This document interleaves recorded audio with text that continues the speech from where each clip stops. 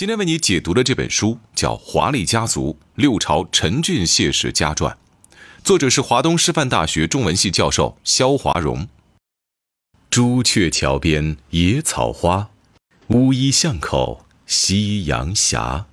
旧时王谢堂前燕，飞入寻常百姓家。唐代诗人刘禹锡的这首《乌衣巷》可以说是家喻户晓。乌衣巷。位于南京秦淮河南岸，今天只是一条长一百五十米、宽三米的小巷子。而在两晋南朝，这里豪宅林立，车水马龙，世家子弟进出往来，热闹非凡。不夸张地说，当时的乌衣巷是南京乃至整个南方最著名的地标，而这完全是因为两个大家族，也就是诗里所说的王谢聚居于此。所谓王谢。指琅琊王氏和陈俊谢氏，在两晋南朝，也就是从西晋建立到陈朝被隋朝消灭之间的三百多年，王谢是名副其实的官宦世家，他们的子弟世代为官，仅五品以上的中高级官员就多达二百四十名。会做官只是一方面，人们对王谢的向往，最主要的是由于他们的历史形象和文化形象。这其中，陈俊谢氏尤其突出，他们家可以说是偶像辈出。以谢安为例，他一生兼具名臣、隐士、名士三种身份。当宰相能制约权臣，抵御外敌；退隐能同知己好友流连于山水，谈诗论道。而作为名士，谢安学识渊博，风姿绰约，足以迷倒众生。这简直是偶像级别的士大夫。谢安声望之高，连心高气傲的李白都五体投地，写过不少赞颂他的诗篇。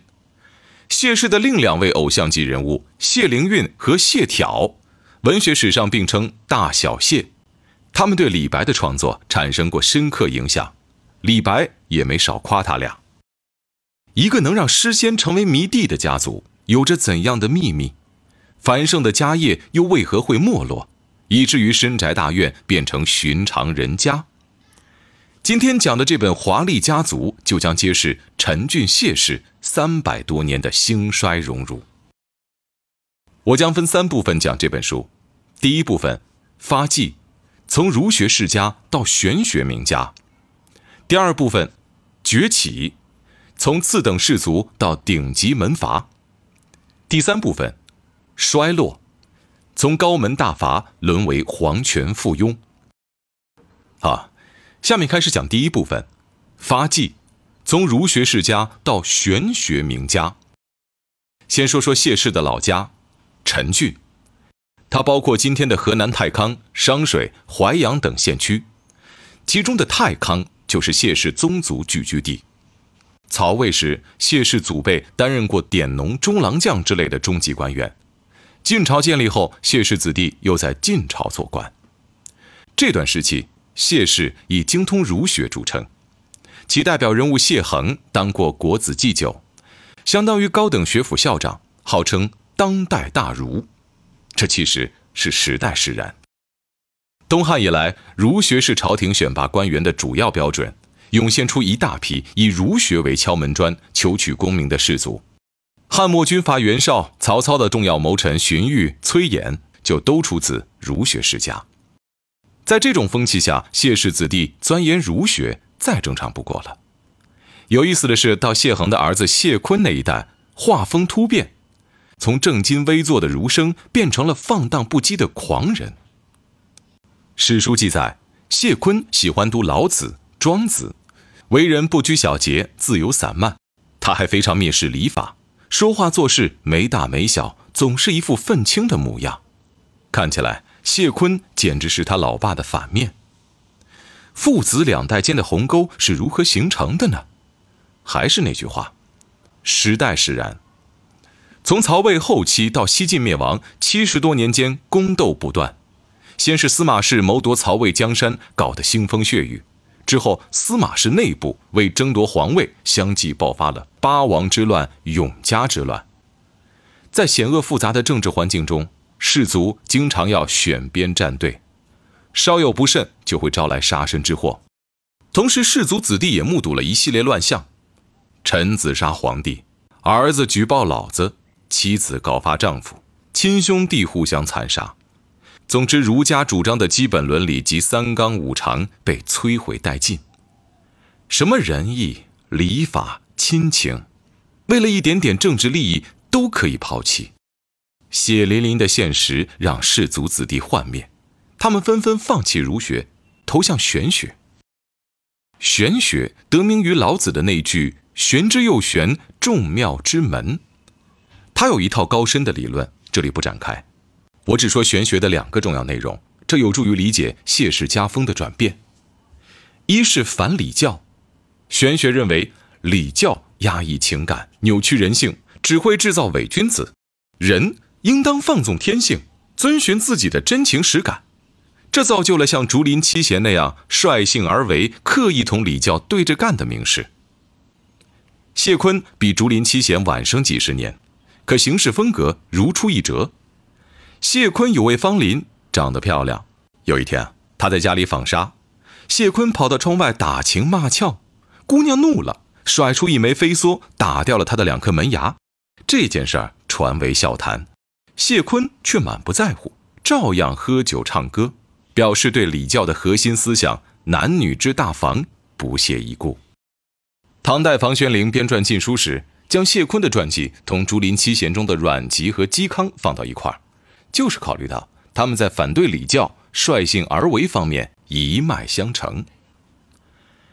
玄学的另一个重要内容是顺生，意思是人要坦然面对生死，既不做无谓的牺牲，也不做无谓的挣扎。这本来是战国思想家庄子提出的，而西晋末年的情形同战国很像，战争激烈残酷，从王公贵族到平民百姓都可能死于非命。于是顺生思想显得特别接地气，得到了士族的普遍认同。这方面，谢坤也是高手。有一次，把持朝政的长沙王司马懿听信传言，以为谢坤要逃跑，把他抓了起来。谢坤知道多说无益，索性解开衣裳，听凭发落。他的坦然打消了司马懿的顾虑，遂下令放人。谢坤又默默穿好衣服。整个过程中，谢坤面无表情，一言不发，好像生死同自己并无干系。谢坤的表现得到了广泛好评，嵇康的儿子嵇绍、琅琊王氏的代表人物王敦、王导都十分赞赏他。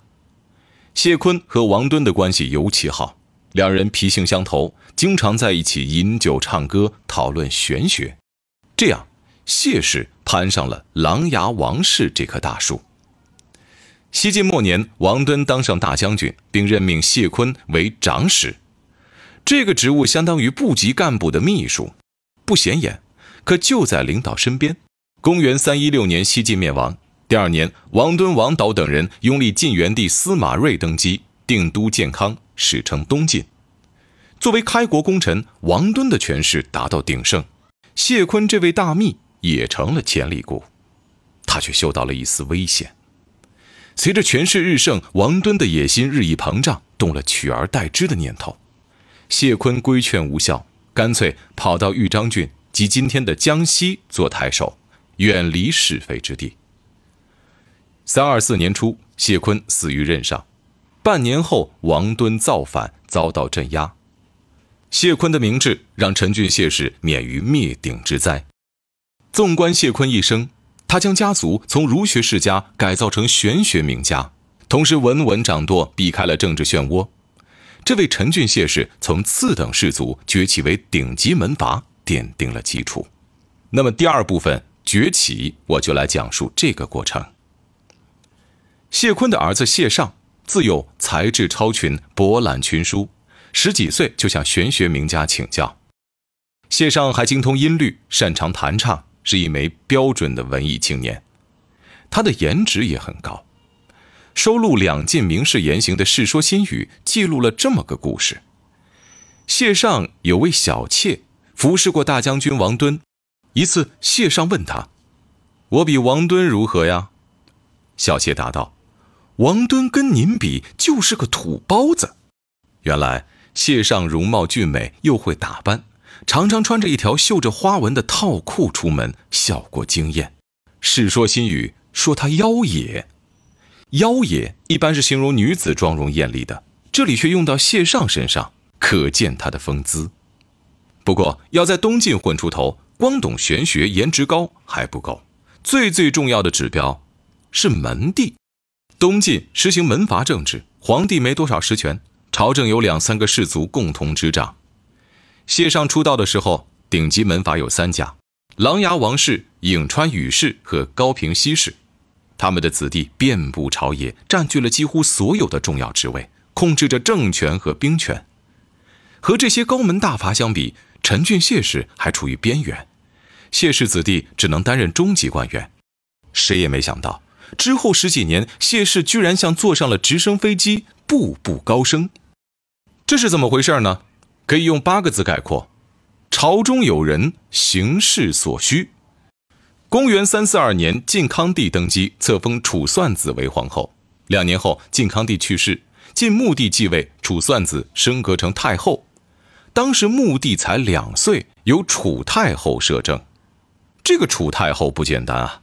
四十多年里，她历经穆帝、哀帝、孝武帝三朝，多次临朝听政。而楚家同谢氏有联姻关系，论辈分，楚太后还是谢尚的外甥女，她自然对谢氏多有提携。这直接表现为谢尚一年内连升三级，从小小的文官升任西中郎将，监督六郡军事，兼豫州刺史。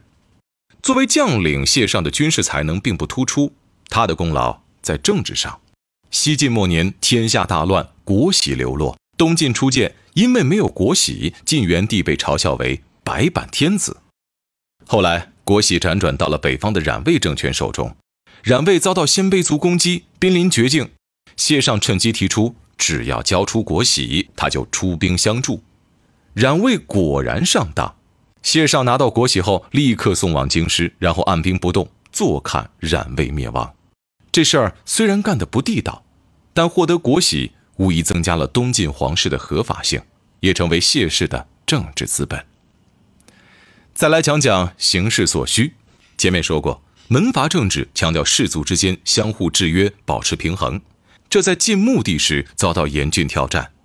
挑战者是出身于乔国桓氏的桓温，凭借卓越的才能和敏锐的政治嗅觉。桓温步步高升，当上了荆州刺史。荆州位于长江中上游，辖区涵盖江汉平原，为兵家必争之地。桓温占据荆州后，极力扩充势力，对下游的健康构成了严重威胁。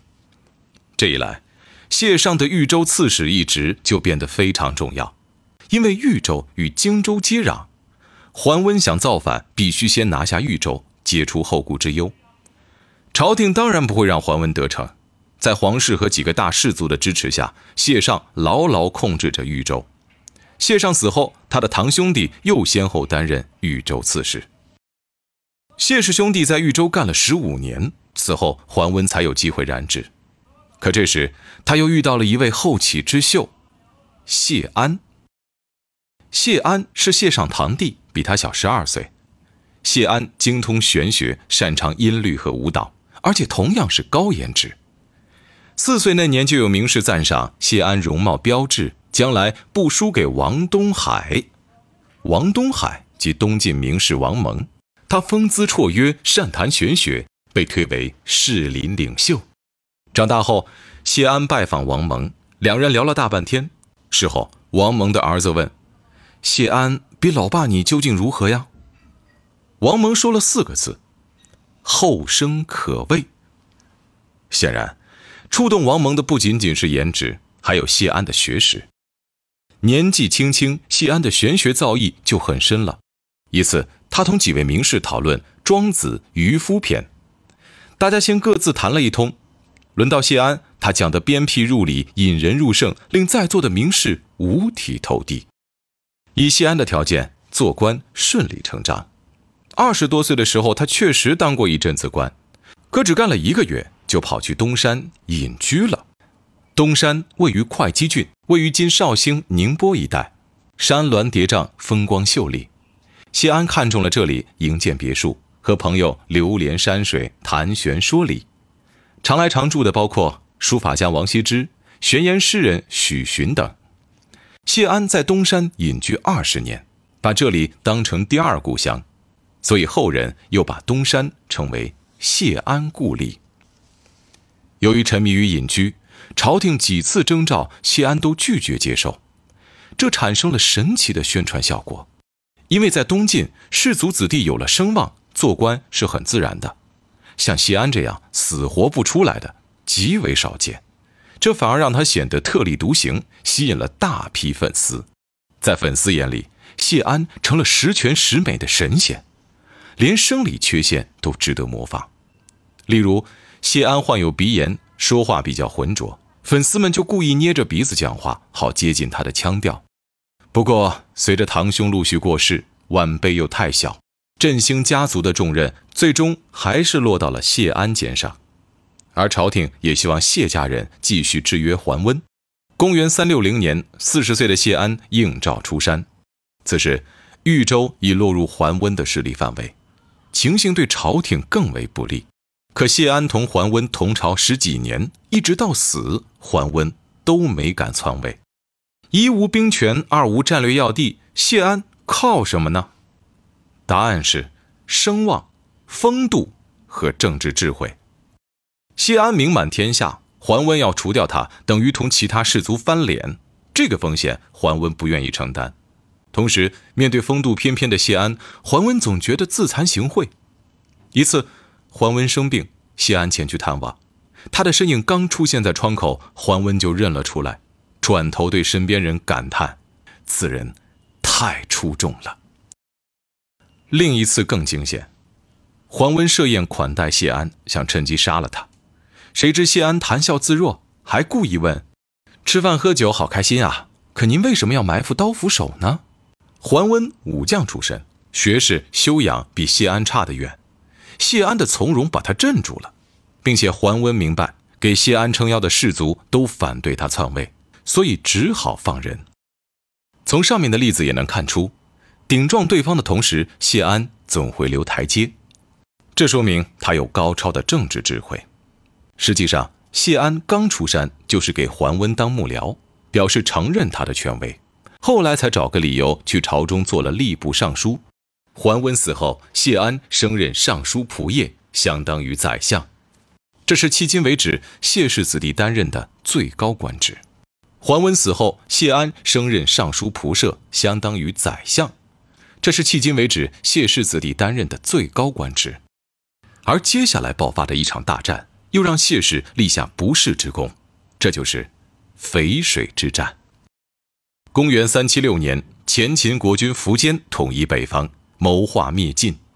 谢安积极备战，安排侄子谢玄任兖州刺史，镇守扬州，负责江北军事。作为谢氏的新生代力量，谢玄不负众望，他在镇江招募训练军队，带出了一支劲旅——北府兵。谢玄率北府兵打了些胜仗，挫了前秦锐气。三八三年，苻坚举全国之力南下，决心一战定乾坤。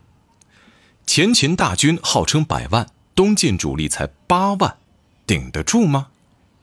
东晋人心惶惶，唯独谢安平静如常。他还拒绝了桓冲调拨的三千精兵，说：“你留着守荆州吧。”临到大军开拔，谢安仍然有说有笑，连谢玄都沉不住气了，请叔父指示。谢安反而拉他下棋。谢玄的棋术原本很高明，现在竟连连失手。谢安调侃说：“你真是心不在焉呐。”谢玄忽然领悟了，叔父这是提醒他，强敌压境。更要冷静，只有将领稳了，军心才会稳，才能取得胜利。其实谢安的平静是为了稳定人心，他内心也是波澜起伏，有件事儿很能说明问题。晋军同前秦军在淝水鏖战时，谢安正同客人下棋，战报传来，他看了一眼，随手放下，继续下棋。客人忍不住了，小声问：“战事怎么样了？”谢安轻飘飘地说：“小儿辈大破贼，前线将领多为谢氏子弟，虽说是小儿辈，他们击败苻坚，挽救了东晋。直到这时，谢安终于不再掩饰内心的狂喜，他赶着给朝廷送捷报。由于走得太急，跨门槛时把木屐上的齿碰断了，都没发觉。淝水之战将谢安的声望推向巅峰，谢安获封庐陵郡公，他的弟弟和两个侄子也获封公爵。谢氏号称一门四公，风头盖过了老牌氏族琅琊王氏。至此，陈俊谢氏正式成为了顶级门阀。俗话说：“盛极而衰。”走到巅峰的谢氏，就该走下坡路了。第三部分衰落，我就来讲讲谢氏如何在残酷的斗争中遭到重创，从高门大阀沦为皇权附庸。公元三八五年秋天，谢安病逝，享年六十五岁。不久，谢玄放掉兵权，改任会稽内史。谢玄非常清楚，臣子功劳太大会是什么下场。所以他有意保持低调，以免沦为政治斗争的靶子。只可惜谢玄死后，这一番良苦用心还是没能保全谢氏。原因则在于政治生态的急剧变化。门阀政治的规则是皇帝无为而治，朝政由两三个家族共同执掌。可东晋后期，由于陈俊谢氏退让，其他氏族又缺少人才，出现了权力断层，这让一直被架空的皇帝动了心思。孝武帝亲政后，提拔皇族，排挤士族，试图重振皇权。问题是，东晋皇室已闲置几十年，没有政治经验，他们野心颇大，能力却十分低下，互相还争权夺利，把国家搞得一团糟。这激起了两件事儿：农民起义和政治斗争。这两件事儿重创了东晋，也对陈俊谢氏造成了致命打击。先讲农民起义。公元三九九年，朝廷在浙东强制征兵，逼出了孙恩之乱。孙恩农民军一度攻克八个郡，声势浩大。此时，谢安的小儿子谢衍任会稽太守，他守土有责，与孙恩作战，结果兵败身死。此后，谢衍的长子和次子也在镇压农民军时战死。孙恩之乱持续近三年，六名谢氏子弟死于战乱。是损失最惨重的氏族，战争的残酷让谢氏子弟把名士风度都抛到了身后。据说孙恩手下大将张猛落到谢衍幼子谢浑的手上，想到父兄惨遭杀戮，谢浑恨极了，掏出张猛的肝脏生生吃了下去。谢浑自己也没有好下场，这就要讲到政治斗争了。孙恩之乱重创了氏族和皇权，朝政陷入混乱。桓温的儿子荆州刺史桓玄趁虚占领建康，废晋安帝，自立为帝。可桓玄是个中看不中用的世家子，很快被刘裕和刘毅推翻，晋安帝被重新扶上皇位。而刘裕和刘毅凭借的正是当年谢玄训练的北府兵。叛乱刚定，刘裕、刘毅这两大功臣又展开了明争暗斗。当时谢浑任中书令，又是士族代表。成为两人都要拉拢的对象。刘裕出身草莽，放过猪，砍过柴，为人粗鲁。谢浑看不上，他站到了还算有点文化的刘毅一边。这一选择是灾难性的，最终刘裕胜出，将谢浑下狱赐死。跟着他投靠刘毅的谢氏子弟也杀了好几个。这是孙恩之乱后谢氏遭到的又一轮打击。局势已经明朗。想在乱世中生存，只能靠刘裕。幸存的谢氏子弟纷纷放下身段投靠刘裕，刘裕也乐得收容这些名士，为改朝换代制造舆论。公元四二零年，刘裕逼晋恭帝禅位，创建刘宋政权。在禅让大典上，将象征皇权的国玺捧给刘裕的，正是谢安的孙子谢旦。至此，晋朝终结，历史进入了南朝。南朝持续一百六十九年，历经宋齐梁陈四个政权，谢氏的命运又如何呢？谢浑的侄子谢惠，其遭遇就是缩影。谢惠其实挺有眼光的，他早早的跟定刘裕，受到信任。刘裕驾崩前，谢惠作为托孤大臣，受命辅佐宋少帝。少帝继位时十几岁，只顾贪玩，不管朝政。谢惠深感忧虑，他同另几名重臣商定废黜少帝，拥立刘裕第三子已经成年的刘义隆为宋文帝。可没想到，宋文帝上位后极力打压谢惠，逼得他反叛，以至于兵败被杀。谢惠固然死得冤，却同他误判形势有关。东晋时士族掌权，对皇帝不满，架空或废黜都可以。进入南朝，权力高度集中到皇帝手里，绝不容许再出现士族控制皇帝的情况了。谢惠当惯了名士，没意识到时代已悄然变化。他废黜少帝，无论动机怎样，都挑战了皇权，所以宋文帝再感激，也必须铲除他。这是皇权政治的基本逻辑。谢惠之死表明，门阀政治让位给皇权政治，原先那套行事规则失效了。此后，宋文帝又以谋反罪杀了谢灵运、谢宗等人。南齐时，谢氏的另一位重要人物谢朓也被冤杀。自此，陈俊谢氏彻底丧失了政治能量，只是因为高门大阀的身份，才能享有特权，沦为给皇权装点门面的政治附庸。这附庸当得着实憋屈。谢安死后，安葬在建康郊外的梅岭。公元四七九年，陈宣帝次子陈叔陵也看中了这块风水宝地，他竟然派人挖了谢安墓，把尸骸撒得满地都是。当时，谢安的九世孙谢真在朝中做官，始终不敢说一句话。从谢安逝世的三八五年到他被挫骨扬灰的四七九年，九十多年间，陈俊谢氏从巅峰滑落到谷底。名士风流早被雨打风吹去，不过陈俊谢氏毕竟没有像历史上的其他大家族那样被时间的尘埃淹没。其中一个重要原因是谢氏的许多事迹已经进入了中国人的文化记忆。以成语为例，谢安隐居东山二十余年，复出做官，这创造了一个成语“东山再起”。谢安谢玄叔侄赢得淝水之战，又创造了两个成语“风声鹤唳”。草木皆兵。山水诗人谢灵运用“才高八斗”四个字称赞曹植的文学成就。谢灵运之孙谢超宗年少有灵气，被诗人誉为凤毛麟角。谢氏家族还出过才女，最出名的当属谢安的侄女王羲之的儿媳妇谢道韫。《世说新语》记载，某日谢安和后辈一边赏雪，一边讨论如何形容飞雪。有人说，这好像往空中撒了把盐。谢道韫则认为，飞雪更像因风而起的柳絮。谢安评定，谢道韫的比喻更贴切，他因此被称为“咏絮才”。在中国文学史上，谢道韫是同蔡文姬、李清照并称才女的。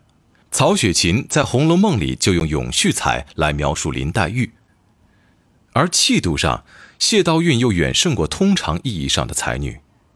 孙恩之乱中，丈夫遇害，谢道韫怀揣利刃，抱着三岁的外孙对孙恩说：“你要杀就杀我，孩子是无辜的。”如此临危不惧，把杀人如麻的孙恩都镇住了，恭敬地放走了他。当然，谢氏最重要的贡献在文学领域。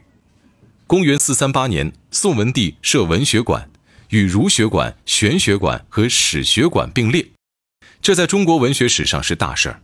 此前，中国文史哲不分家，文学馆的设立则标志着在人们的心中，文学具备了独立地位。而主持文学馆的正是谢氏子弟，这是顺理成章的事情，因为谢氏可以说是文学世家。我们前面提到的所有谢氏人物，个个都是诗人，并称大小谢的谢灵运和谢朓，更是古典文学史绕不开的人物。